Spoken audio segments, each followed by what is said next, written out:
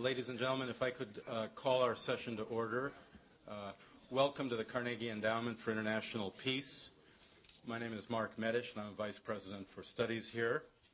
We have a great program for you this afternoon featuring Dr. Joseph Stiglitz of Columbia University and Steve Mufson of the Washington Post.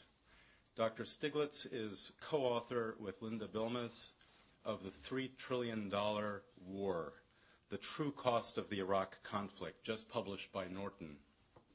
It's an extremely timely and important book on the economics of this war. Um, it tries to gauge the full costs to the U.S. of the prosecution of this war uh, and, and goes well beyond the official statistics. It has a lot to say about magnitudes and methodologies. It tries to take account of macroeconomic costs, social costs, and even opportunity costs, which is particularly appropriate in the case of a war of choice. On my way here, I saw a bumper sticker, uh, Dr. Stiglitz, on a, on a car that happened to be festooned with Obama stickers as well, and it said, War is costly, peace is priceless. And in many ways, your book aims to help us think through just how costly this war uh, really is to the United States. Um, I should note that the book is dedicated to the troops serving and the veterans who have served in Iraq and Afghanistan. Dr. Stiglitz is one of those people who doesn't need an introduction the problem with being a person who doesn't need an introduction is that you rarely get the kind of introduction you deserve. uh, but let me just say a few words. He is university professor at Columbia University and chair of their Committee on Global Thought. He uh, served on the Council of Economic Advisors from 1993 to 1997, uh, including as chairman uh, for the last three years of that period. He was chief economist of the World Bank um, he's had a very distinguished career in academia and in policy. By the way, he won the Nobel Prize in Economics in 2001, and he won the, uh, the John Bates Clark Prize uh, in 1979, which economists in the audience uh, will understand the significance of as well. We're also joined by Steve Mufson of the Washington Post. Steve is uh, currently the energy correspondent for the Post. Uh, he's had a, a, a, long and distinguished career there, uh, working at the Post since 1989. He was previously deputy editor of Outlook. Um, he's uh, been on the economics beat. He's been the Beijing correspondent. He's covered foreign policy uh, and, and, numerous other beats. He also wrote uh, at the Wall Street Journal in the 1980s. So we're delighted to have him here. Our format today is that Dr. Stiglitz will give an opening presentation, and this will be followed by a conversation up here among the armchairs, uh, guided by Steve Mufson, and then we'll open it up to a broader conversation. So without further ado, uh, let me uh, give the podium to Dr. Joseph Stiglitz.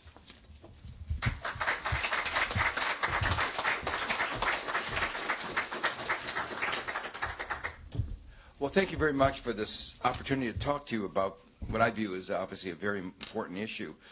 When when uh, the U.S. went to war, uh, and this was, as Mark said, a, a war of choice, uh, the one person in the administration, Larry Lindsey, said the war might cost 100 to 200 billion dollars. And for that uh, rare moment of, of honesty, he was rewarded with being fired. Uh, the administration, uh, Rumsfeld said baloney, and the administration came back with a number 50 to 60 billion dollars. We are now spending that amount upfront every three months. When I say upfront, what I want to emphasize is that the actual cost of the operations are just a fraction of the total cost, and that's what I'm going to be coming to. Uh, that as long as troops are there, there are going to be disabilities. When they're disabled, we have to pay disability compensation and health care costs. And these other costs double uh, can double the, the, the, the, the $12 billion a month uh, that we are, are spending.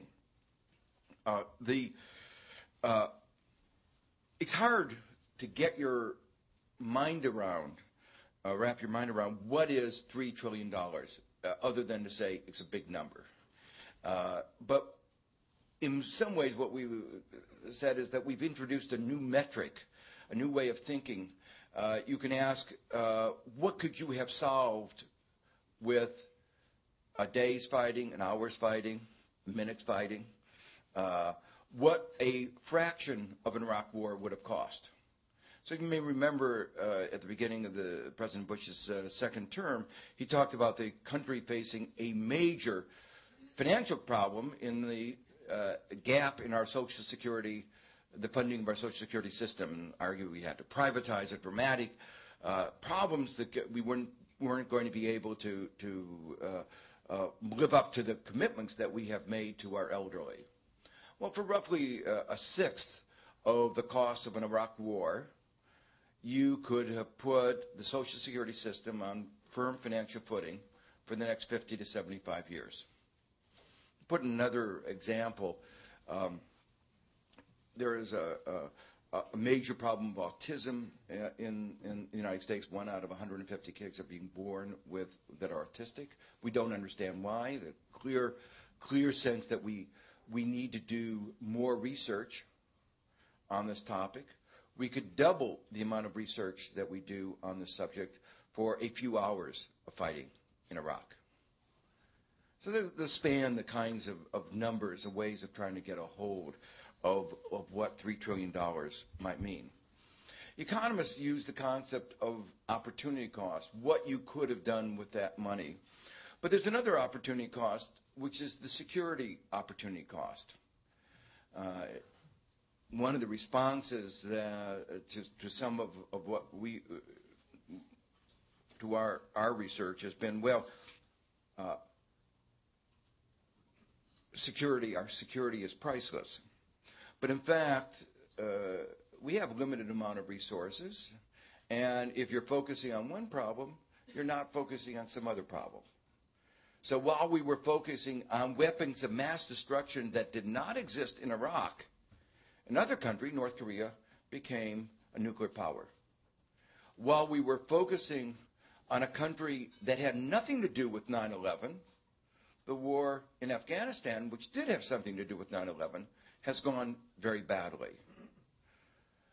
And while there was no connection with Al Qaeda in the beginning, now, Al Qaeda is active in Iraq.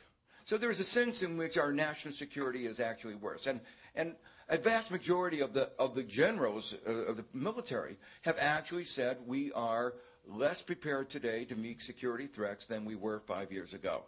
So this is part of the, of, of the cost of the war, but that's part of the cost of the war that we do not quantify. What we try to do is to say, okay, we're not going to, to, to look at all the aspects of, of the decision of, of, of the war, but at least the American citizens ought to know what this war is costing the economy, what is costing them. And once you begin to, to um, uh, look through the various categories of cost, you realize that in fact, uh, $3 trillion is a vast underestimate of the true cost. In our book, we give a range of numbers, three to five trillion dollars, and and we actually, you know, think that the number is is almost surely greater than three trillion. Let me just very quickly go through and how you go from the numbers that the administration admits to to these larger numbers. Well, as I say, first there is the direct operation cost. Remember, the administration said it was going to cost 50 to 60 billion. Well, what we've already spent is the order of magnitude of 600 billion, 10 times what they've said, and we're spending 12 billion dollars a month. But the actual cost of operations almost surely goes beyond the amounts that they are willing to admit to up front. Since the war began, our cumulative expenditures in the Defense Department, beyond what is attributed to Afghanistan and Iraq, have gone up by uh, in excess of $500 billion. There's no new enemies. The question is, where is that money going? at least for, a part of that has to do with the Iraq War. I mean, obvious example, but it's only a, a little part of it, is that because the war is so unpopular, and because the way we've treated our veterans, something I'm going to come to in a minute, the way we treat our veterans is so bad, it's become difficult to recruit. And we've had to pay our, our soldiers more. We've had uh, very large enlistment bonuses and re-enlistment bonuses. And those don't show up, except for the soldiers actually fighting in Iraq, in the Iraq budget. But they are part of the cost of, of the war. So in our estimate, we take a, a, a, only 25% of this excess uh, spending and attribute it to Iraq. Then, of course, there are the mo- large categories of expenditures that we have not yet paid. And these fall into to, uh, uh, three major categories. The first is the war is going on. We are continuing to spend $12 billion a month upfront in operations. In fact, though, we are requiring our military to do longer um, uh, deployments and shorter periods in between. They are becoming very depleted, as I mentioned before. Uh, and uh, uh that means even to stay still, to continue the level of effort, it will cost us more per month. The per monthly cost has gone up from 4 billion a month at the beginning of the war to $12 billion a month now. So if we stay, the amounts are going to go are, are going to continue to go up. We haven't built in our estimate the full increase of that, but we base it on on a variety of, of CBO and Defense Department estimates that uh, we look at a range of, of disengagements. We don't look at either the immediate disengagement scenario or the scenario that says we're going to be there for 100 years. Uh, we look at scenarios that will involve disengagement between now and 2017, relatively fast or uh, more moderate disengagement. So that's the first, continuing operational cost. Uh, the second is that when we leave, we not only have to pay the cost of de- uh, demobilization, we will have to spend a considerable amount of money to restore the military to its pre-war strength. Uh, in spite of uh, the fact that we are paying higher uh, salaries and enlistment bonuses, the quality of our armed forces in most metrics has been going down. The fraction of high school graduates has been going down, and the fraction of convicted felons has been going up. And, and that will cost money to restore them to the kind of quality that we would like to have. But even more important, we've been depleting our uh, uh, military equipment faster than we've been repairing and replacing it, and that too will cost money. And then the final category is uh, the category is, veterans. 40% of uh, our veterans, we estimate, will come back with some kind of disability. Just to put this in perspective, remember the short war in Gulf War, the first Gulf War, in one month. We thought it was a war for free. We thought other people were going to pay for it. We are now spending $4.3 billion a year on disability pay. Now, you just think about that for a short war. Now, we have a war going on for five years and continuing, a war in which the, the people coming back with disabilities are coming back with many more disabilities than in the previous war. And the likely, and, and many of them are more, much more severe. Uh, the psychological problems are, are, are, are, you know, increase with each re, each deployment, and we are now asking the people to serve two, three, and four deployments. Uh, the costs are are likely to be very, very large. We estimate that the future cost of these uh, disabilities, uh, including the Social Security system, which is something that, that they get eligible for dis- Social Security, um, uh, but, and the healthcare cost, uh, in excess of $600 billion. I'll come back to this, but this is an unfunded entitlement that we have created in the last five years uh, of $600 billion. So when you add up these, these are the budgetary costs that we can see easily, that we can calculate easily. And it's, you go from the 600 billion that we've already spent and very easily get to two to three hundred, uh, two to three trillion dollars in budgetary costs. But then we go beyond the budgetary cost. And we look at both the micro and the macro uh, cost. On the micro side, um, for instance, are the fact that the amount that the government pays for disability or for deaths is a fraction of the cost to our society and to the families. So, for instance, in one out of five families in which somebody is being seriously disabled, somebody has to give up a job to take care of them. The disability paid does not measure the loss of, of income, let alone the pain and suffering that they've suffered. The, the, the death benefit, they call it a death gratuity, is $500,000. The government, in its own uh, uh, you know, accounting, when it evaluates a safety regulation or an environmental regulation, looks at the cost of the regulation and looks at the value of the life saved. And it does. It's an unpleasant thing, but you have to value life. And the number they use is seven, uh, seven between seven and eight million dollars. That's much larger than 500,000. So there's a gap between the societal cost and the budgetary cost. There are a, lot of, a number of others, but these are the main one that we focus, uh, main ones that we focus on. And then finally, there are the macroeconomic costs. First, we dispel the view that, unfortunately, has been around for a long time that wars are good for the economy. Uh, that was a view that was generated by World War II, which is widely seen as helping uh, the world get out of the Great Depression. Uh, but at least since Keynes, we know that there are better ways of stimulating aggregate demand, stimulating the economy. You don't need to have wars to keep the economy at full employment. We can spend money in ways that lead to long run productivity increases in standard of livings. The war is about the worst way of spending. And this particular war is particularly bad. Uh, money spent to hire a Nepalese contractor working in Iraq does not stimulate the economy in the same way that money spent on a hospital in the United States or a road in the United States or in a school in the United States would have stimulated the economy. This war is also bad because it's been associated with an increase in the price of oil.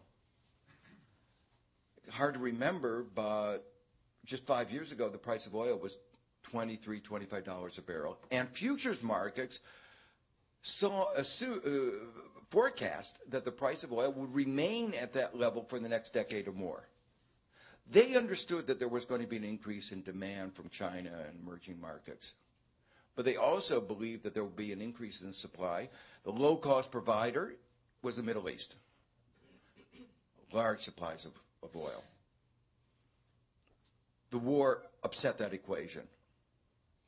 And while in our book, we only attribute five to ten dollars of the increase of the seventy-five to eighty-five dollars uh, of the uh, increase in the price of oil to the war, uh, we actually think the, the number is, is much larger, and that's why I say you know our numbers we, we feel very convinced are, are, are very conservative. The war, this war has also been do- different from any other war in a couple of other ways. One of the ways in which it's different is that this is the first war in uh, America's history where at the time we went to war, we didn't have a conversation about how we were going to finance it.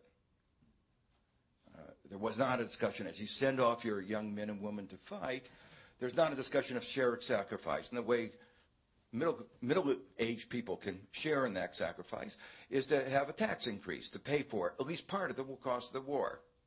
This is the first time as we went to war we had a deficit, and we responded by saying the shared sacrifices the rest of America would have to consume more and spend more time in the shopping malls. We had a tax cut for upper income Americans as we went to war. That means that every cent, in a sense, has been borrowed.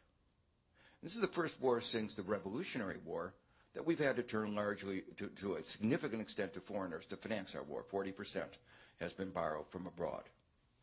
That means, in turn, that our living standards in the future are going to be lower than they otherwise would have been. We will have to pay interest. We will Perhaps we will repay the debt. No matter what you're doing, there is no free lunch, as economists put it, or put it in this context, there's no such thing as a free war. The Bush administration was trying to persuade America that they could have a war for free. After all, it was just a volunteer army that was fighting it.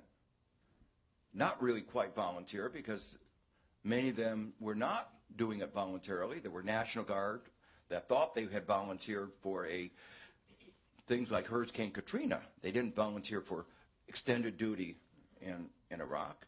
And the stop loss provisions, they thought they had signed up for three years, told no, you, can, you, you didn't read the fine print. And you would have said, seen that you signed up for eight years. And we can tell you not that you can't leave. So it's not really quite the all voluntary uh, army that, that, that people have, have suggested, but, but it is one in which most Americans uh, have not had to, to give up, ha, send their children, large, the smallest percentage serving um, in, in our, probably in our, in our history, and, uh, or at least recent history. And uh, in, ter- in terms of the cost, it's all been pushed onto future generations. And so, in, in a sense, uh, that the, the, the notion that people would not feel the cost of war was part of the deliberate strategy. Uh, now, we end the book by a discussion of a number of policies, um, uh, recommendations, trying to think about how can we prevent or at least reduce the likelihood of kind of problems that, that we've seen. And uh, let me just very quickly mention three of, two or three or four of these. Uh, one of them is the appropriations process. Uh, this war has been funded by 24 separate appropriations bills. It's been funded in drabs and drabs, so nobody really saw the full what was really going on. By emergency appropriations, emergencies make sense or appropriate at the beginning of the war when you have a hurricane that you cannot anticipate. But five years into the war, you should not be funding a war with emergency appropriations that are not subject to the kind of scrutiny that ordinary appropriations are, and that's why there's been all these problems with with profiteering, profit, problems with with with cost management. So one recommendation is that you know at least after the first year or two, you should have you should you should use regular appropriations, and if if you say there's emergency, you have to go before Congress and say things are not going the way we thought. We made a mistake. These are not anticipatable. The um, uh, second uh, kind of a, recommendation is has to do with our accounting procedures. We use cash accounting rather than accrual accounting. Uh, countries that have, have really tried to get their accounts in order use accrual accounting. Every business uses accrual accounting. Every major business beyond a corner grocery store uses accrual accounting. And the obvious reason, accounting systems are important because they are the way we think about information, the way we organize information. And if you use cash accounting, you focus on your cash expenditures. And so you try to reduce your cash expenditures, but that means that there are accrued expenditures going out that you're not focusing on. And that leads to a systematic, uh, uh, systematic consequences of what you call penny wise and pound foolish. So let me give you an example. Something where, where we had to uh, use the Freedom of Information Act to find out what was going on. You know, the president said he was giving the troops all everything they needed. But what we discovered was that the commanders uh, in Iraq had asked for the MRAPs, these vehicles, the specially designed vehicles designed to resist explosive devices, as early as the beginning of 2005. And had they had these, a large number of deaths and disabilities would have been avoided. but buying them would have raised the upfront cost, the cash cost, those that showed on the accounts.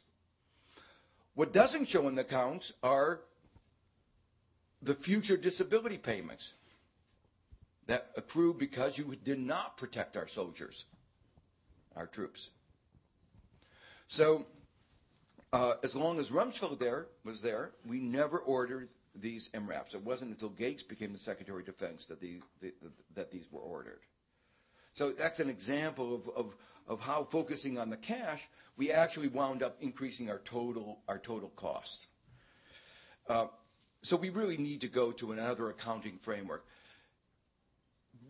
In modern war, this is becoming more important.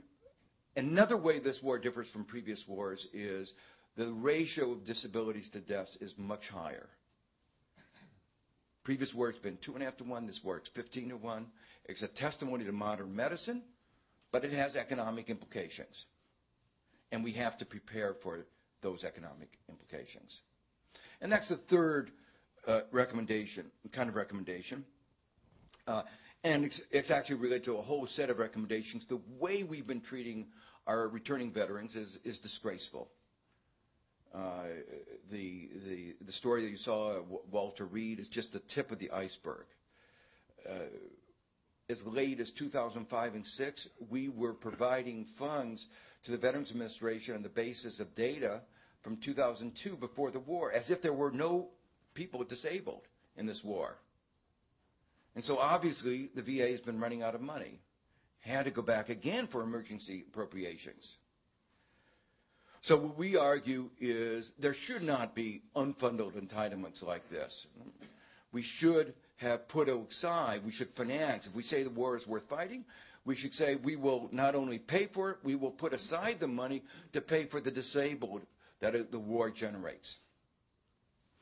So these are some of the kinds of policy recommendations that we've uh, that we looked at. Finally, let me just mention that uh, while we began this book uh, as, uh, you might say, an exercise in boring economics and accounting, uh, that we, we thought, you know, Americans ought to know what the war was costing. We thought this was something the government ought to be doing. We should not have written the book. It, this is information the government uh, should have been providing, but it hadn't done what it should have done. There's a certain irony here. We were we were talking about going for uh, fighting for democracy, but democracy is more than periodic elections. Democracy entails informed citizenry being involved in the decisions that affect their lives. And part of being informed is knowing the cost of what you're doing, particularly when it's a war of choice. Well, uh, one of the things that we came to understand as we wrote the book is how difficult it is to get the information. Uh, and we had to repeatedly uh, work with veterans groups to get uh, use Freedom of Information Act to find out uh, what was going on. We wound up doing we might call investigative reporting. Uh, what we we um, uh, you know, scandals of the kind that, you know, I would talk to uh, Linda and say, are you sure? And, you know, we couldn't believe our, uh, uh what we saw and, and we check it and, and continually, you know, scandalized. I mean, let me just give you uh, one example I've already given you is the MRAPs. Uh, another example is the number of people injured that appears on the Department of Defense website is roughly about half of the true number. And it was only through the uh, working with the veterans groups to find, in Freedom of Information Act that we, we found out the true number. If you look at the number of fatalities, they list the fatalities whether they are fatalities associated with hostile action or non-hostile action. What they don't tell you is that on the injuries, they only talk about combat-related injuries. And they get to decide what is a combat-related injury. If you're flying a helicopter at night because it's too dangerous to fly a day and it crashes, that's non combat. If you're in a convoy and the first uh, vehicle in the convoy explodes with an IED, that's obviously hostile combat. But if the second one crashes into the first one because it's blown up, that's just an automobile accident. And is not listed, it may not be listed in the, in the hostile action category. And, and these differences are large. As I say, it's roughly 50% that are reported. But from the point of view of the taxpayer, from the point of view of our obligations to our troops that are fighting for us, there is no distinction made whether it's hostile or non hostile. And that will be part of the cost of the war that we will be paying for decades to come. Finally, the big issue of the day is where do we go from here? That's a difficult issue, and, and there's obviously a lot of uncertainty.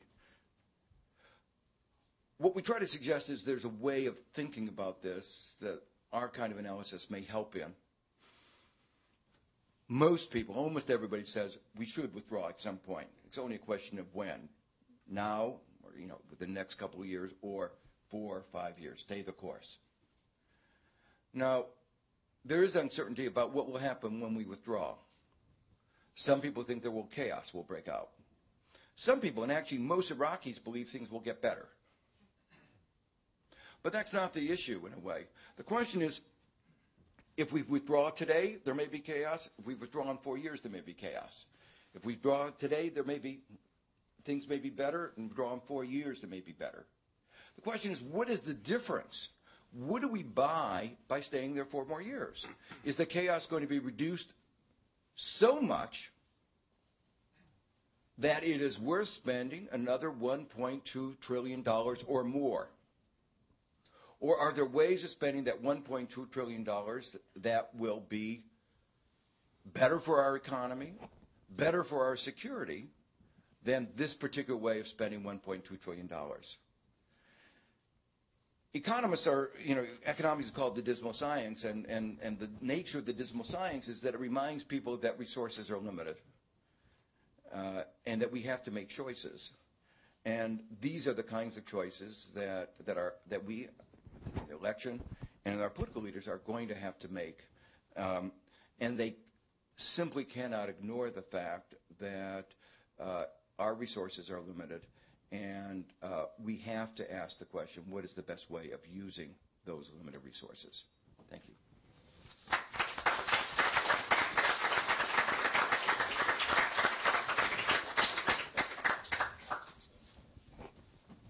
We'll just adjust the microphones here. Joe, th- thank you very much for that uh, excellent summary of your findings and recommendations. Um, I'm sure you've provoked a, a lot of questions in the audience, but we're going to start with uh, your neighbor, Steve Mufson's questions in just a second. So, Steve, let me turn it over to you to, to get the conversation going. Thanks, Mark.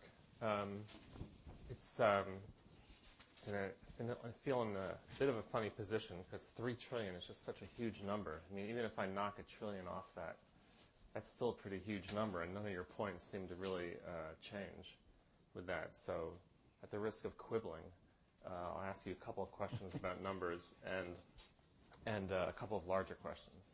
I thought I'd start with the uh, larger question, which is really one about what the baseline is.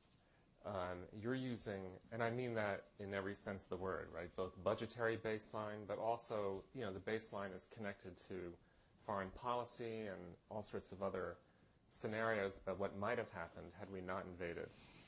Um, and I'd just like to mention a few of them that maybe you want to talk about. One is, um, you know, did you really, does, could one really have expected that status quo with the oil for food program and the no-fly zone to have continued indefinitely? What kind of costs? And I know in your book you, you subtract the, uh, the costs of the no-fly uh, zone program, which we discontinued, obviously. So that I understand that, but but it, you know, it's possible that those costs would have changed in some um, more disadvantageous way for the budget. Or alternately, you could have had a scenario um, on the eve of the war. Jessica Mathews had written a piece about how we should use the military to enforce inspections. That would have created a whole different level of spending, even without war, and was the kind of thing that a lot of people were talking about as an alternative to war, given where things were in this stalemate uh, between the U.S. and Iraq. And then there's also other possible scenarios. I mean, how long would Saddam Hussein have gone on even without without a war, and what kind of costs might there have been in terms of regime collapse uh, or some other uh, thing that might have happened? Presumably, he wouldn't have gone on forever. And finally, there's the uh, the other issue, which is had we not gone to war with Iraq, would we have gone to war somewhere else? I mean, it's hard to think of an American, uh, you know, uh, it's hard to think of an administration that hasn't chosen to go, go to war somewhere, actually, at some point, for better or for worse. And, you know, maybe it would have been North Korea or Iran or something like that, but it doesn't seem likely, um, given our nation's history, that, that we would have gone on without something happening. So maybe you could just talk about this Sure. baseline, because aside from subtracting the, the no-fly cost, you were pretty much assuming the status quo. Yeah, I, that's a very good question. It's something that we struggle with. Uh, uh, the way economists use the, just the uh, uh, vocabulary, we, we talk about the counterfactual, what would have happened but for the war. And there's, there's no way f- to be really sure what those alternatives are, and, and there are a million different scenarios that you can conjure up. And, and i in a sense, uh, you know, we feel convinced that, that uh, the baseline, the counterfactual that we uh, used was probably the the best one, but there are these alternatives uh, that that uh, uh, you have to think about. Um, one example of, of this is is this issue of what would have you know uh, what would have happened to Saddam Hussein, um, and it, it reminds me of a little bit about uh, the discussion in Indonesia just a decade ago, where where uh, people talked about uh, the the uh, role of the financial collapse. One of the benefits of the financial collapse in Indonesia was that Suharto uh, was removed. Well, um, we now know Suharto was very sick. He would not have been able to to, to stay in. Uh, that somehow, even though he was a he was uh, a, a very strong uh, president, he had allowed civil society to flourish. And uh, as he left, there there has been a flourishing of civil society. It probably would have happened when he This left. justifying the World Bank program there, right? And, and so the, the, the argument was the justification of the disaster of the IMF and the World Bank program was it got rid of Suharto. So what if 40% of the, uh, the unemployment rate got up to 40%? Um, you know, uh, my view was that was not uh, it, it was not really something that we we ought to include in the benefit because he would he would have he would have gone anyway. And the same thing uh, in the case of Saddam. We don't know. We don't know if when he died there could have the same conflict that, that we now see could have could have emerged, and we all we did is accelerate it. And so you shouldn't be blaming all this conflict on us. The, the real point is we just accelerated. On the other hand, what is clear is that the way we came in to Iraq mismanaged the whole process from the beginning, didn't engage in reconstruction, allowed the arms to get around to, to everybody. Uh, unemployment soared to 60%. Um, the uh, and, and unemployed young men with guns are an explosive mixture, predictably exploded. You can say, well, you know, uh, it it could have happened otherwise, but you couldn't have done anything more to make it more likely that the thing exploded. Uh, so you have to say, well, we, we have to have some culpability for for that, and, in, in terms of that kind of a baseline. Um, the uh, I mean, I would like to think, and, and certainly uh, many people in the military believe, that they are a peacekeeping organization, not a war. Uh, that uh, and and you you you might have hoped that if we were going to war, uh, we were going to use them, we would find uh, places like Panama, uh, where the resistance is relatively low and uh, fewer people, Americans get killed, and fewer Panamanians uh, get, got killed. So uh, if you're going to, to, to pick up a, uh, what Mark said, if you're going to have a war of choice, uh, you ought to choose it a little bit more carefully. And, uh, you know, people say, well, we got rid of a dictator. I often think, well, uh, let's make a list of all the bad dictators in the world and uh, let's put a price tag. How much it would have cost to get rid of uh, each of them? And for three trillion, I think we could have gotten a lot more dictators uh, than, in fact, we wound up getting for for what we got. What is the going rate? I- I- so no matter how you look at it, uh, you know, it's a lot of money, and and uh, uh, yes, uh, some of these alternatives uh, mean that the incremental cost may have been uh, a little bit higher. The baseline would have been higher, but but as you say, it might have been 2.8 trillion. But remember, our estimate is three to five trillion. So we're we're, we're talking about three trillion. We're trying to be deliberately conservative. Right. Well, and in, in, in a similar kind of question, looking forward instead of backward, is the, the issue of the cost of withdrawal. Because you're, you're thinking about this, in, again, in budgetary terms, which is the whole point, of course. But um, I wonder, you know, if you were an incoming administration trying to decide, let's say, even a Democratic administration, on the off chance that might happen, then you're trying to think about what those costs of withdrawal are, and they go beyond the budgetary ones too. And there, I mean, there may be, or or even uh, they may include budgetary costs if there's some sort of increase in terrorist threat and that sort of thing. And No, I agree. I, I agree completely. But that's why the way, why I emphasize the way we ought to be thinking about it. Um, if there are costs to say increase chaos, and we withdraw in four years, we get we pay that cost. So the question is, we're going to be paying the cost either today or in four years' time. You're assuming chaos no matter when we live. Well, but that's the way the question is. You have to be persuaded that spending 1.2 trillion dollars extra, extra, between now and four years is going to have a significant reduction in the probability of chaos.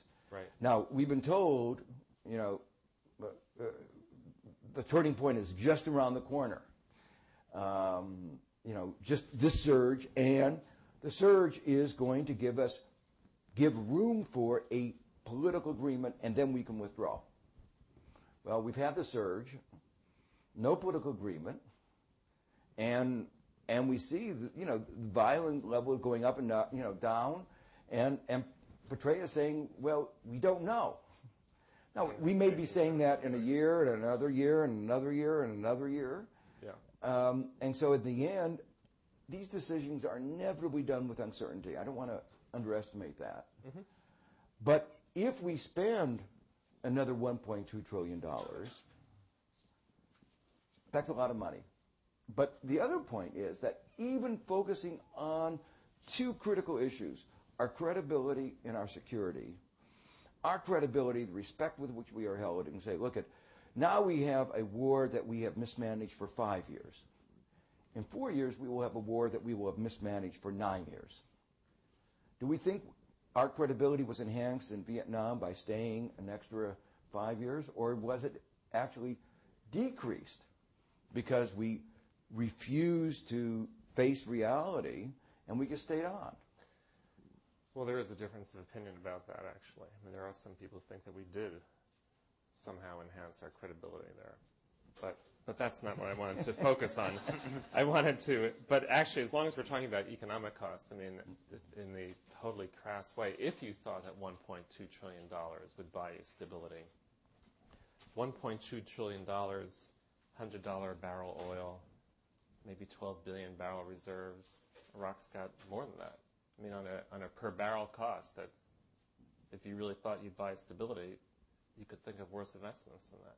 Well, first of all, I- didn't, in that $1.2 trillion, include the macroeconomic cost of the chance of more instability from our protracted engagement. Mm-hmm. Or the fact that because the war is going on, many investors are reluctant to go to the Middle East. So it's actually decreasing uh, potential supply because of, the, of, of our presence there. When I said 1.2 trillion, I didn't include those macroeconomic costs. If I included those, the, the numbers get get much much much larger. Uh, it seems to me that the second question you have to ask, uh, even if you believe that that you got more security there, is will the problems show up elsewhere? Al Qaeda's moved from Afghanistan to Afghanistan and Iraq. Okay, so we persuade Al Qaeda to move out of Iraq. Does that, do we really believe it's going to disappear? Maybe it'll go to Pakistan.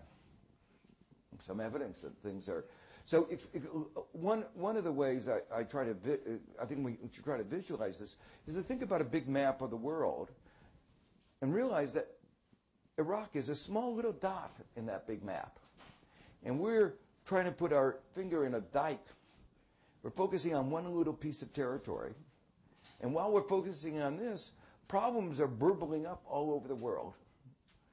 And one of the reasons they're burbling up is because we're not focusing on them because all of our attention is being focused on this particular problem, mm-hmm. which we aren't solving. In fact, I, I heard one security expert uh, put it very graphically. He said, said uh, if you were Al Qaeda and you were trying to think about what would be in your interest, and he described, well, the thing that would be most in your interest would be a war in Iraq. And that, in fact, we fell into the trap. Let me ask you one uh, counting question and then maybe open it up for some other questions. And, and that is uh, one person who, who wrote about some of your calculations said that counting the cost of the war and the interest on the war was a little bit like counting the price of the house plus the payment, all the mortgage payments together. It's sort of a double counting. Do you want to Yeah. Well, we were very careful in, th- th- this was a, a, a issue that came up in our earlier paper that we wrote in, in January 2006. And so in this book, we are very careful when we add on the total, we don't add on the interest. So you in our, that. we- we- in our $3 trillion number. But it is still the case that uh, if you ask a family how much they're paying for the mortgage, they include the interest. You know, that's part of the budgetary cost that they face. And so the interest is part of the budgetary cost that our taxpayers are going to have to face. So if you ask, you know, what would we, you know, what do we have to raise taxes to pay for? Let's say that we want to undo the deficits that we've created because of the war. How much do we have to raise the taxes?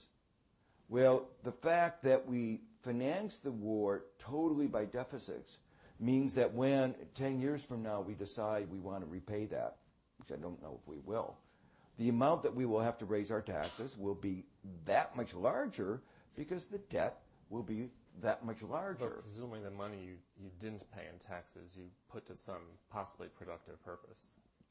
the productive purpose was with the war. Uh, uh, I'm not sure that, that we are seeing If that much borrowed return. for the war spending, then the, the money you would have spent on the war is Well, and, and, the, and the answer is basically to keep the economy going, and this is actually an important question I was hoping we'd get to, is the link between our current economic problems and, and the war. Uh, you know, I, I described before how the war was exerting this very negative effect on the economy. There were higher oil prices, spending that was not stimulative of the economy, deficits. And one of the questions is why why didn't we feel it more? Why didn't we feel it more? And the answer is pretty obvious. The Fed let loose a flood of liquidity, and the regulators looked the other way with lax regulation when we were, you know, really bad mortgages that that that were being uh, given out. And this enabled the result of this was we had a housing bubble and a consumption boom. Savings went down to zero, down to zero. So, you know, it was very clear that we've been living on borrowed money and borrowed time. And it was just a matter of time before a day of reckoning came. So your answer is, what did we do with the money? In effect, we had a consumption binge.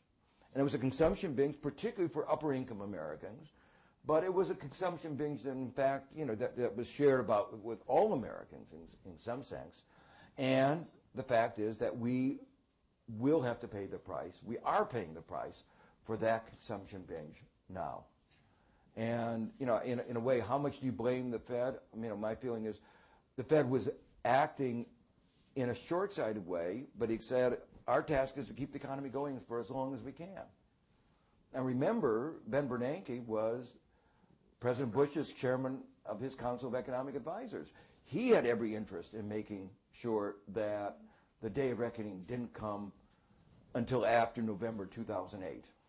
Well, you can't always manage these things perfectly, and it started to unravel in August 2007. But it, you know, I and a number of other people just saw it coming as you know very clear. This is not Monday morning, morning quarterbacking. We pointed out that this is this was going to happen. All right, well, let's, let's, uh, May I be recognized Yeah, for the first sure. question? Uh, Joe, I wonder if you could just say a few more words about the, the what I call the comparative economics of war, or the, the economics of comparative wars. You mentioned the Vietnam War. Could you try to put your cost assessment of Iraq in relative terms compared with Vietnam, compared with Korean War, compared with World War II, when you add in all the costs of those of those operations, including the Marshall Plan, by the way, because World War II was not just the prosecution of the war, but also the reconstruction effort during the occupation of, of Japan and Germany and, and the rest of the work in Eastern Europe. Can you give us a sense of Yeah, magnitudes? a, a little bit. Um, this is, in terms of the operations, the upfront costs, the second longest war in America's history, and the second most expensive war. The only war more expensive, adjusting for inflation, adjusting for inflation, is World War II. So this is a very expensive war. The cost per troop is about eight times the cost in previous wars. So you know this is this has been a very expensive war. One of the questions that we asked is, you know, why is this war so expensive? We think part of the reason has to do with this is the first war that has been as privatized, where we've relied as much on contractors. Uh, and that part of that has to do i- is that we had this all volunteer army. It's very hard to recruit more people. And so we had to go to, to, to contractors to do things that normally would have been provided by armed forces. But contractors are very, very expensive. Uh, the, the, the, the, they are expensive in many different ways. They were made more expensive by, you might call it the corruption that's associated with what the way, you know, single source contracting, cost plus, reducing the number of auditors. Um, you know, the way it's been managed has, has helped increase it. Uh, but, Uh, but one of the ironies of it is the contractors are providing competition for the military. So the the people who've been fighting in, in Iraq say, if I quit and get a, when, you know, when my term is over, I work for the contractor providing security, my salary will double. Why not? And so the, that forces the armed forces to pay, increase their, their enlistment bonuses. And one of the things that we emphasize in the book is, you know, there are some things where privatization makes sense. But there are some things where privatization doesn't make sense. Running prisons, it doesn't make sense. And mercenary armies have always had a bad reputation. And uh, there's a good reason. National interests do not coincide with profit maximizing behavior. And I, just, to, I, I, just to give you an example related to something I was talking about before, uh, at the beginning of the war, unemployment reached 60%. It was in our interest, in terms of winning the hearts and minds, to get that unemployment rate down.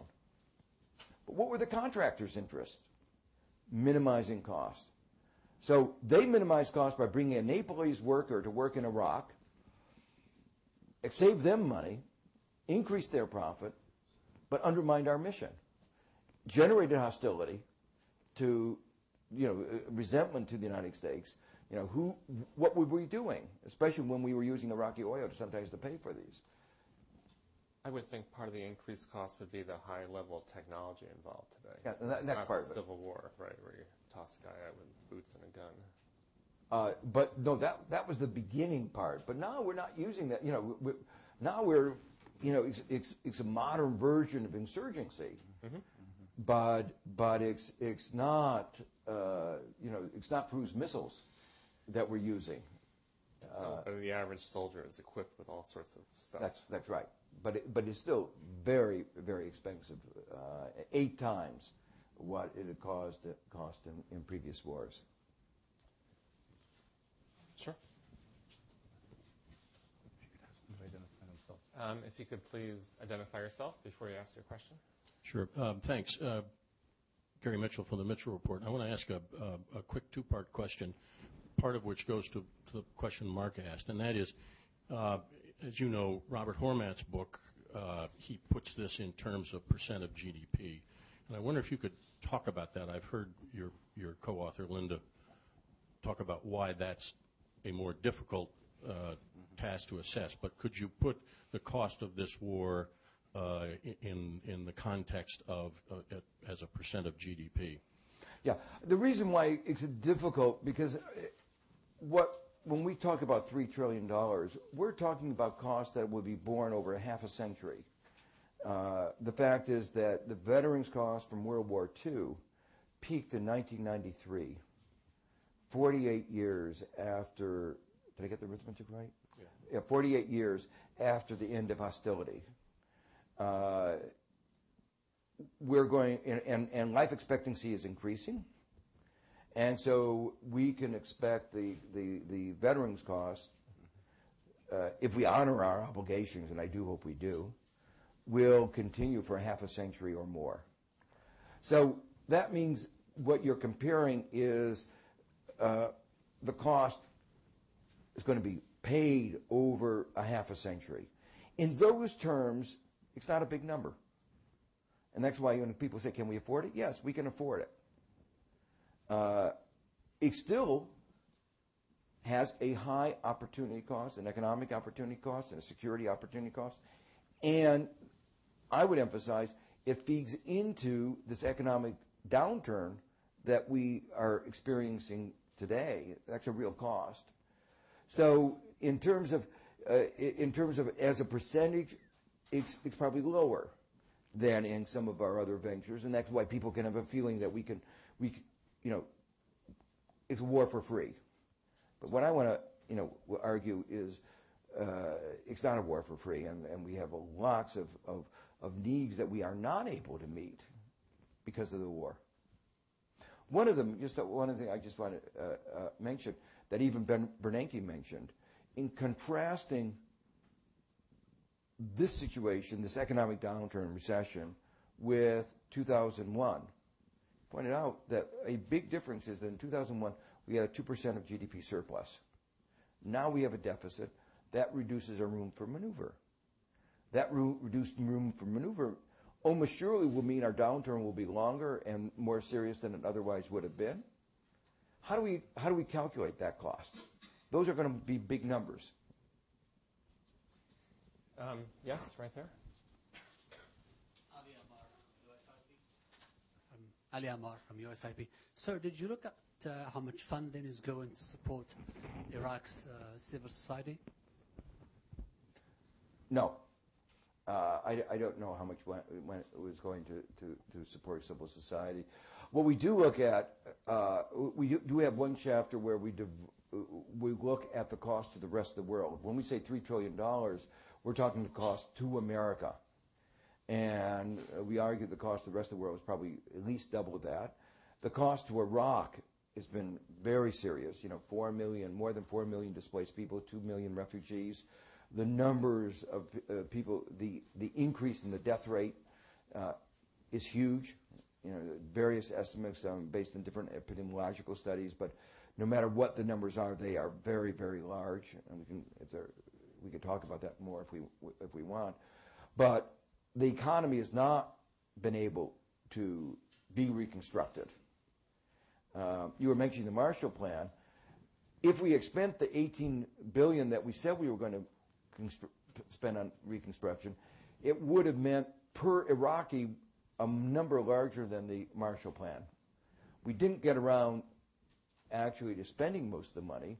And one of the stories that we tell uh, that we, you know, we, we, we talk about here is why that was turned out to be the case. And it was, it's an interesting story that there was uh, Congress insisted that the bidding be competitive bidding. Rumsfeld insisted that it be sole source.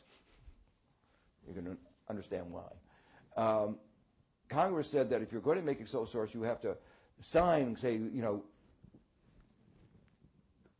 it has to be sole source for the following reason. You know, it's, it's, uh, you know, well, and he refused to sign that letter, presumably because he couldn't.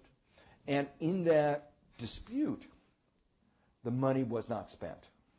A critical time when uh, uh, you know it, where we re- where the insurgency began and where we played a critical role in losing the, the, the hearts and minds of the people in Iraq. Um, in that corner, and then we'll go on this side.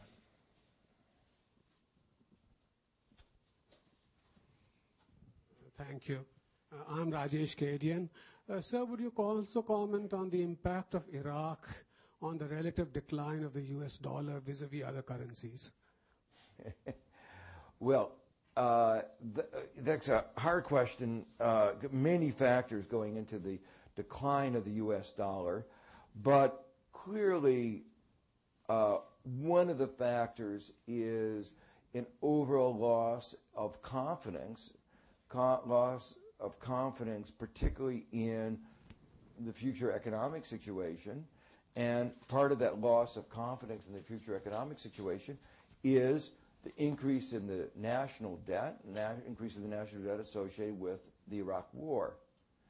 Uh, it's also related to the burgeoning trade deficit, which is related in turn to the increasing oil prices, and uh, that is related also to to the Iraq War. So there are at least two or three channels through which this war and our inability to manage both the war and the economy well have have led to this erosion of confidence, not leading to the to the to the weaker dollar. Joe, maybe you could say something more about the that oil price. Is that five or ten dollar just kind of a, a guess? I mean, I, I do this for the post trying to figure out how to quantify certain political risks and other things that are happening. Very difficult, I think. Did Yeah, you're you right. Pull that number out of the air, or, not- or is that actually based on something?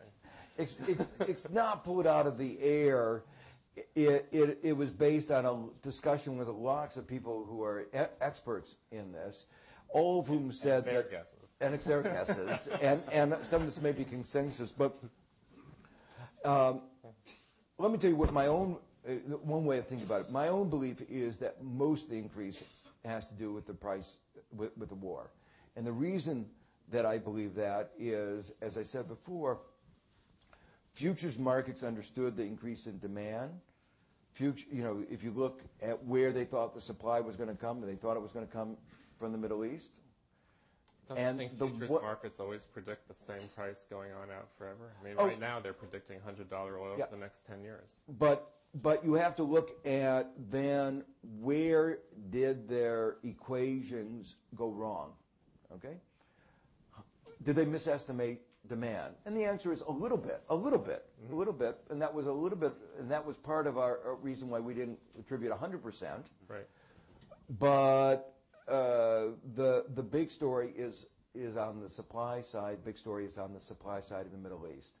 Now, one of the factors that makes this calculation, that makes the analysis more complicated, is there are some peculiarities of the oil market that make it's not an ordinary competitive demand and supply situation, and in particular, uh, the uh, you might call it the supply responses from the oil producers have this uh, characteristic that almost like a backward bending supply curve. What what happens is that when the price starts to go up, they realize that they need to sell less oil to meet their budget needs.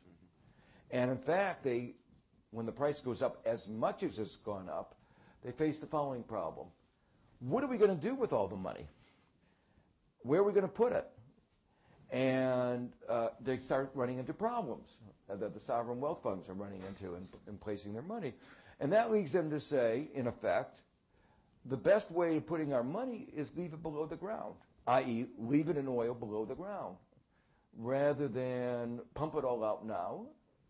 Let's let's pump it out more slowly. when we need it. So as the price goes up, they're actually investing less in expanding capacity. Particularly because they know if they expand capacity, pressure will be put on them to use the expanded capacity. Say, well, how can you act as a cartel? Aren't you our friend? They don't have the capacity. They can say, I'm sorry, we're your friend, but we just can't produce anymore. So there is a, a, certain supply side dynamic that comes once prices start to go up. And the war is what set off that upward movement in the price that, that led to this, this kind of, of dynamic. So if you ask me, I how- think, what? I'm just trying to think of the idea that high prices somehow re- result in fewer supplies, right? Yeah, it's, it's, what- it's a perversity. That's what it's called a backward bending supply curve. And uh, there are a few, you know, markets in which this kind of thing happens, and this happens to be one of them. Uh, and you can understand the rationale of the reason reason for that. And the the um, Uh, the bottom line out of this is, I think, a very large fraction of the increase can directly and indirectly be attributable to the war. But if you ask anybody, is five or ten dollars an overestimate? Nobody, everybody says no. That, that's an underestimate. We're not sure what the number is, but five or ten dollars is the minimum. This sounds frighteningly like my technique. Uh, yes, right there. Darren Hershey, PBS Business Report. Thank you. How, how much of the three to five trillion dollars is opportunity costs in your estimate? And couldn't you apply opportunity costs to any government program, any government spending? No, uh, of, the three to five trillion, uh, let me, let me try to make, make it clear. Um, the direct budgetary cost, the, you know, the money that we're spending is, uh, that coming out of the budget, not including interest, is around two trillion. And then there's the interest. Okay? So just that side gets you, gets you close to three trillion, but not all the way there then are the costs that go beyond the budget. And those are real economic costs. The, the people who have to give up the job to care for somebody who is, who is disabled, that's a, that's a real economic cost. Uh, the, the, um uh, there's an economic loss from somebody who dies at the age of 20. There's an economic cost for somebody who is disabled at the age of 20. So those are real economic costs, and we use the standard procedures for estimating those real economic costs. Now, the macroeconomic costs are, again, real economic costs. We're, we're going through this, uh, what economists call a counterfactual. What would have been the, the, the, the output of the economy were we not spending the money that we're spending on Iraq, uh, on, on Iraqi oil, uh, on, on the higher price of oil. Now, that's where there are. I mean, when you do a calc- assumption uh, analysis like this, there are assumptions. Mean, I, I, and this here our assumption was five to ten dollars of the increase in the price of oil was due to the war. Then you can go through and say, if the price is five or ten dollars higher, how much money does that mean we're sending to Saudi Arabia and Kuwait? What does that do to the macroeconomy? You, and so you go through that, that full calculation. Um, and then you ask if we weren't, uh, if, we, if we weren't borrowing all this money from abroad, 40% export, uh, if we borrow that extra money, that is money that we have to pay interest on. That lowers our standard of living in the future. What is the cost of that? So those are real calculations. Those are not opportunity costs. I was using the opportunity cost as a way of trying to explain what does $3 trillion mean. You know, somebody said, what is $3 trillion? And only way I can explain $3 trillion is to say what you could have bought with it. And a lot. Go way in the back, and then we're going to come up here. My name is Kern Shem. I have two little questions. I hope they're little. One, uh, you mentioned that the actual death toll is much higher than the figures that we see, and No, I'm wondering injury toll. injury. T- I think you said death toll as well. No. That's what I said. Oh, I, what I meant to say was injuries. Injuries? Okay. Yeah. Okay, then that kills the first question.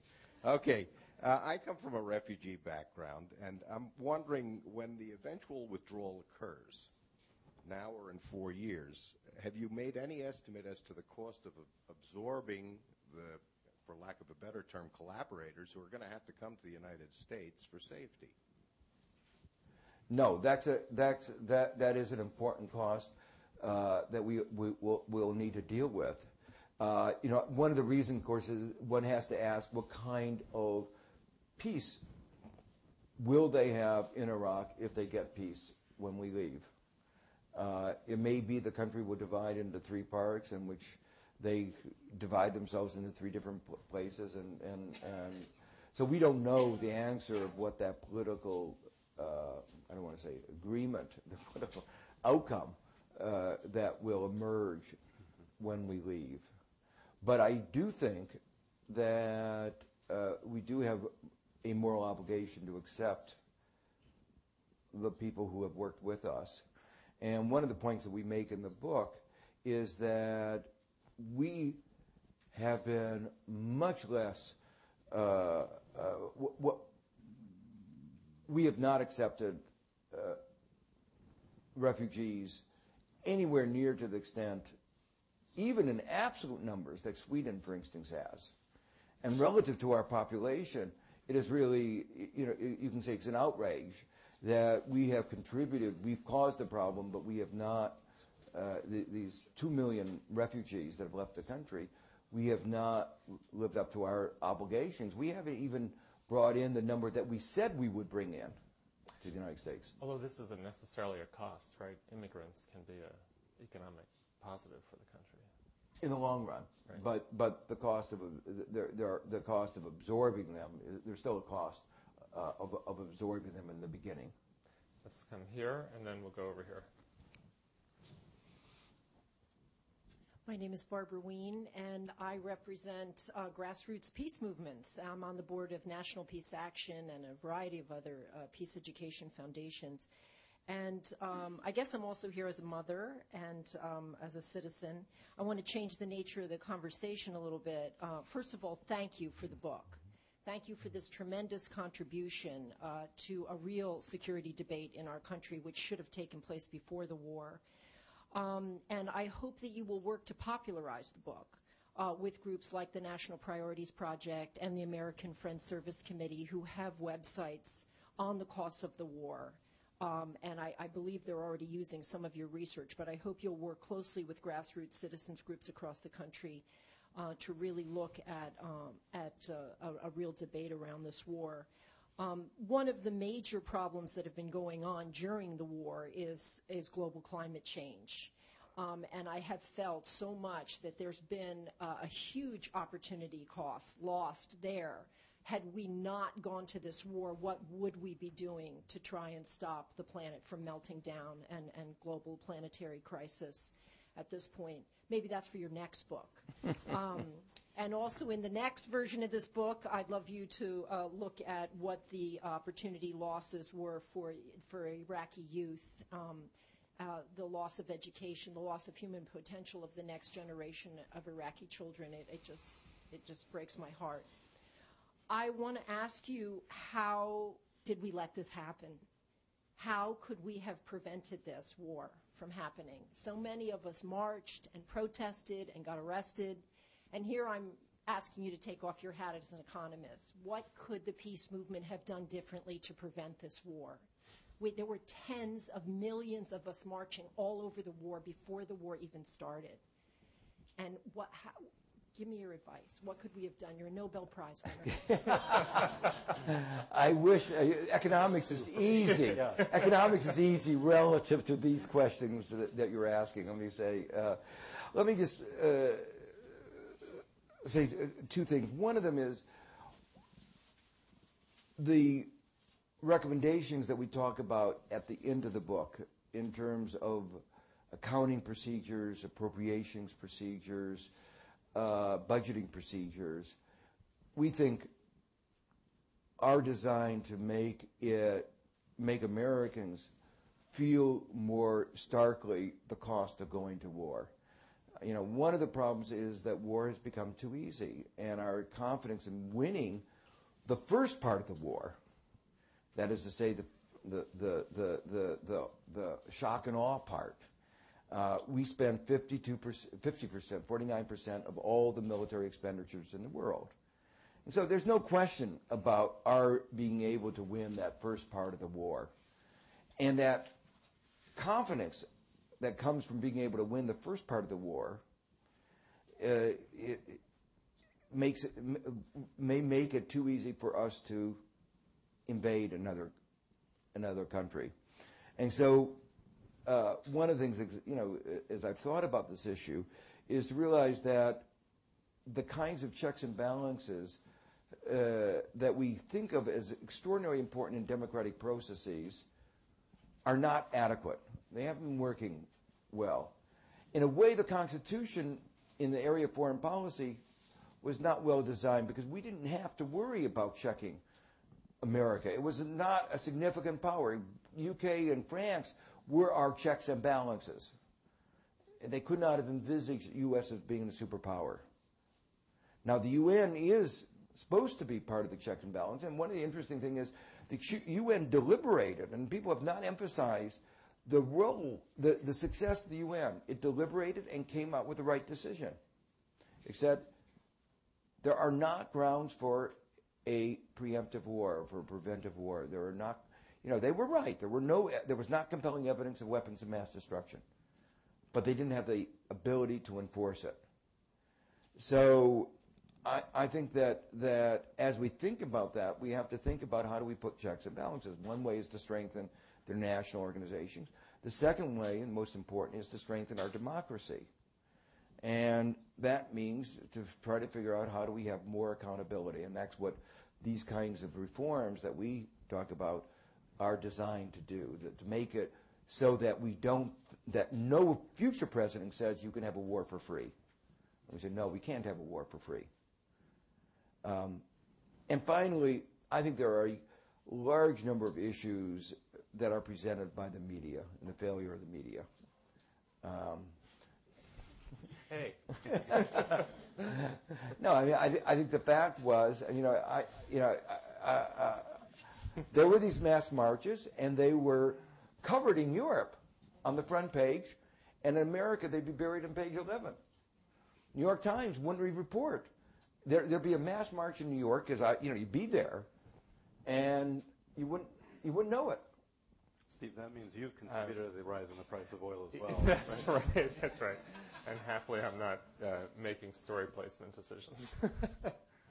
yes. Yeah. Pete Shutley from Brookings, and this isn't a direct financial cost of the war question, but a question if you've come across an answer to my question in your research. I'm assuming that the administration, when Larry Lindsey said gave its cost and he was fired, and Wolfowitz said this is going to be free because Iraqi oil, the occupation will be free because Iraqi oil revenues will pay for everything. I'm assuming that they thought if the price tag were high, the American public wouldn't support going to war. Maybe that was behind their thinking. I don't know. But my question to you is, as you did your research, did you get a feeling for the willingness of the American public to bear burdens, pay costs for whatever, not just the Iraq War, but for other things. Comparing this to past generations, et cetera. Have we gone soft? We're just not willing to pay costs for wars anymore? Or what did you come across as you did your research? Well, I, am not sure I found something that speaks directly to it. I can just reflect my own sort of views. I think that there's obviously a very big difference between World War II, where it was not a war of choice, and there was a sense, you know, it was it was uh, good and evil. You know, it, there was there was a very clear uh, picture. In a way, during the Cold War, Vietnam had very somewhat the same, you know, communism depriving people of freedom but it wasn't just the freedom in, a, in Vietnam, it was the domino. And so the view was that if we, you know, it may have been a mistaken judgment, but it was a, a widespread feeling that there was a war, a Cold War going on, and that we had to do, but do everything we could to, to maintain the, our, our side winning in that Cold War. And the opposition, many, much of the opposition to Vietnam was not a disagreement with that moral responsibility, but a statement that this particular place for fighting that battle is not going to work. So much of the opposition was not to the motive, but to the ability to win the battle there. And uh, this war is, is, in that sense, fundamentally different. Uh, yes, we're, you know, th- there was, and, and again, different from Afghanistan. If you'd gone to the American people and said, you know, is Afghanistan worth fighting? And say, well, we've been attacked, Al Qaeda, we have to do something about it. Clinton had attacked Al Qaeda. You can say there's a bipartisan view on that. View was there's no connection with 9 11 and Iraq. And the fact that there was such strains to try to create a connection that was not there, such strains to create a fear, weapons of mass destruction, plus such strains to hide the cost, I think my interpretation was that if you had gone to the American people and said, is this a war worth fighting? They would have said no. You know, there are lots of dictators in the world that are reprehensible. But by the way they would have commented, you gave, you supported this particular reprehensible uh, dictator for, for, for a, a decade. And now you tell us, oh, we shouldn't have supported him. you know, there, there's a little bit of a disjunction there. So I think they would have said, well, go down the list and let's think of other dictators. If you want to use your military, let's find one that's a little cheaper. I, I don't think you could have sold. I, I, don't think you could have sold it if you'd been honest about uh, the the benefits and the cost. Yes. I'm Don Herr from the Center for International Policy. Ah, thank you. Uh, I just uh, wanted to ask you, uh, sir, about the defense budget issue. I mean, I, you had said that we're now spending 52 percent of the world's military. Uh, 49, I, I, got it wrong. Wherever, 49, you think? Uh, well, it's the highest level uh, in real terms since World War II. In fact, it's at a level comparable to World War II. And I, I noticed in, in calculating the costs of the war, one of the things you added in was the cost for restoring our military, uh, replenishing uh, worn equipment, and so on. And both of our presidential, uh, well, all of our presidential candidates are now arguing for increased defense expenditures for precisely that reason. And I'm just uh, wondering where you come out on that. I, I, think maybe it's time to start cutting back a little bit on our expenditure. Uh, I think that what you're raising is, is a, a, fundamental issue. The Cold War ended in 1989, but our military strategies haven't adjusted to this new reality. And what we've been doing is spending huge amounts of money on weapons that don't work against enemies that don't exist. Now, you know, the good thing is if you're going to spend money on weapons that don't work, it's better to spend them on design for enemies that don't exist than for enemies that do exist. So you can say that, that that's, uh, we're lucky that there, these enemies don't exist. But going back to the point I was making, resources are scarce and America's needs are great. And I actually think that we could buy more security with less money and that we really need to begin to rethink uh, our, our defense budget. We need probably to spend more money on anti-terrorism. You know, we, we may want to need to have better ways of, of inspecting our ports that allow us to, you know, you know, our goods are coming through without the kinds of security that we have to go through every day and every time we go to the airport. Well, if you are going to smuggle, you know, if if you're going to try to get things into the country, obvious way to do it is go through the weakest link. You're not going to go through the airport. So it's clear we haven't thought through our our security needs. I think in a in a in a deep way, and and and uh, I think we can get, as I say, more security for for less money. I think it's really important because what we have done in the last eight years has let some of our basic needs go unattended. Infrastructure, you know, the Minnesota bridges, hurricane, the, Menace, the, the New Orleans le- levees. Not one of the top 10 airports in the world lies in America. So we do have lots of needs. Our healthcare system is, is not functioning as well as it should. You know, outcomes are not equal to that of uh, other advanced industrial countries. So we have lots of needs. And where they're going to come from. Let's take one more. I'll take one more question. Uh, okay, go ahead. Uh, Eduardo Cepeda, Carnegie. I'm going to follow up on the Marshall Plan. Um, you sort of uh, went into the cost of the war to other countries. Uh, the, increase in the price of oil, of course, hit many countries, especially poor countries. The, now there is a coincidence uh, between the causes of the war, the way the war was financed, and uh, recession. We are going to need some money uh, going into areas in, and into countries uh, that are going to go into a recession that might be worse otherwise. So what, is, what are your ideas about this uh, relating that cost and an eventual Marshall Plan that should follow uh, the end of the war? Uh, well, let, let, let try to uh, put this in a little bit broader uh, perspective.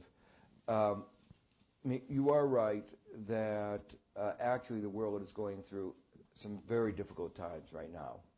And it's, it's uh, I think, from an economic point of, point of view, one of the hardest times to navigate because we are both facing the worst economic downturn since the Great Depression uh, and inflation. Those are two by them each by themselves a difficult problem. The the the reason you know just very, very briefly the reason this is the worst economic downturn, all other economic and to which the war has has contributed, but the the the previous economic downturns in the post-war period, particularly, have been attributed to either excess inventory accumulation, where you just let the inventory decumulate, or worries about inflation, the Fed steps on the brake too hard, goes into a downturn, everybody says, oh, you've stepped on the brake too hard, and, and, the, and the Fed steps off the brake, and the economy starts again. We've devastated a core part of our economic system, the financial system. Uh, and and uh, restructuring, reconstructing that is not going to be easy. It's going to take time. It will happen, but it will, will take time. Inflation, the problems of inflation are worse than normal because this is oil now spread to food because of the biofuels uh, uh, uh, brought these two together. Standard tools won't work. China, for instance, is facing a problem of inflation. Vietnam is facing a problem of inflation. If they raise the interest rate, it's not going to do anything to global prices of food or fuel, or not very much. So all the standard remedies that we've taught people are irrelevant to this kind of imported inflation unless you're willing to have a real depression to get unemployment rates so high that wages start to fall. And I don't think any of us, you know, the cure would be worse than the disease. Where this is a really problem is in developing countries. Because in developing countries, oil and food represent a very large part of their market basket. And they are seeing food costs going up, Uh, it, it is a real strain on their food importing countries. Now, the other point I was going to make is that a lot of people think that we could fund a Marshall Plan out of the peace dividend. But one of the points of our book is that the peace dividend is going to be less than many people think because we have these unfunded obligations for the veterans we're not going to be able to disengage right away. So that in fact, there's not, we're not going to be sitting on a pool of money. Quite the contrary. I mean, our point is that if we try to stay the course, we're going to have to spend more and more money. So the problem is that, yes, I think we ought to have a Marshall Plan. I think particularly we have a moral obligation to help Iraq. I think we ought to, we, we ought to be helping more, you know, we ought to be living up to our obligations that we've agreed to to the developing countries, and this is a real time where they're going to need that help. But then you start looking at our budgetary situation, and that's where you come down to, to, to the, the, the hard reality that we have to do something about the defense budget. Great. Good, Joe. Well, thanks very much. Thank you. Mark?